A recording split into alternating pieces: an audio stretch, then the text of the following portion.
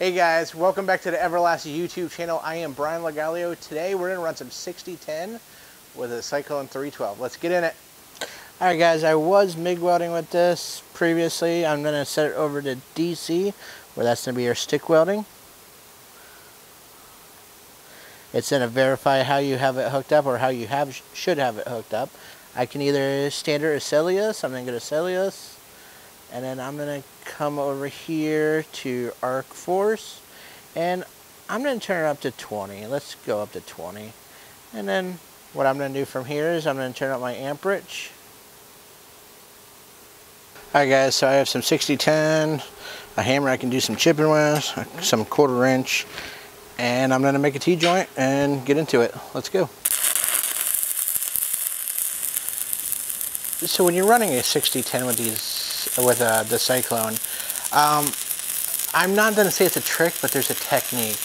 Um, when, when I was doing the root, I was doing a quick, tight arc, forward of back movement.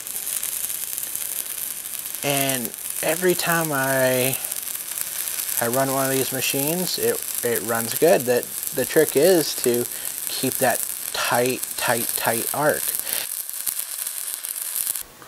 Just did some quick cleaning up, you know. Um, could probably use a wire wheel right now.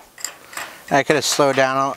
I could have uh, stopped right there and let that fill a little bit. My hand was kind of uh, in a weird spot, but you know, looks good overall.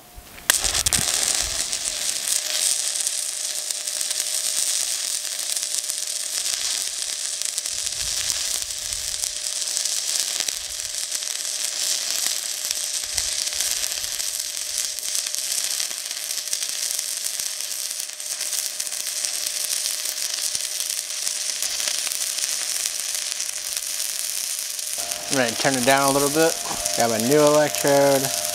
I just didn't like the way it was gouging in the top plate there.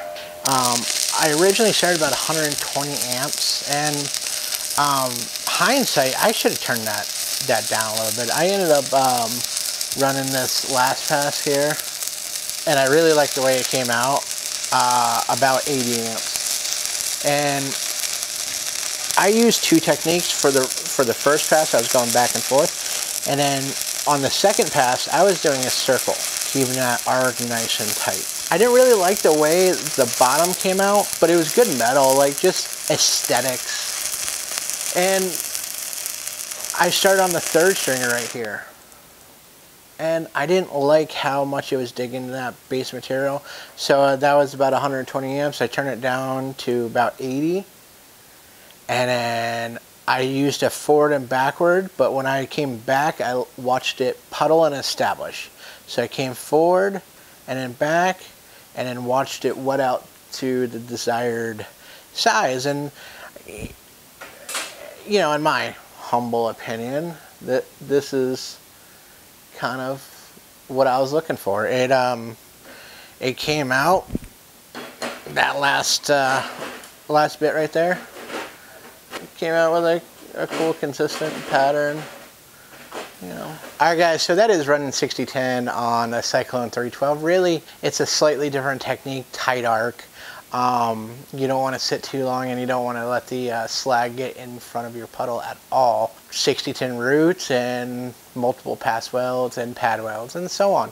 Can be done, it can be achieved. Um, hope this helps on uh, with one of their machines. We'll see you on the next one. Remember guys, weld mean, weld green. See ya!